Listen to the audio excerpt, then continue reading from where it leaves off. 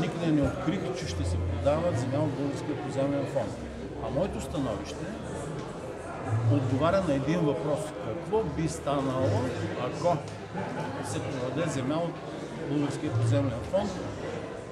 И ние там отговаряме, че тази стойност, на която може да се продаде една такава земя в такъв размер, дългосрочен план е губеща, защото за по-малко от 4 години тази стойност се получава в момента като найми и аренда и държавата ще изгуби в дългосрочен план. Затова нашето становище е, че не трябва да се продава. Но това е отговор на запитване.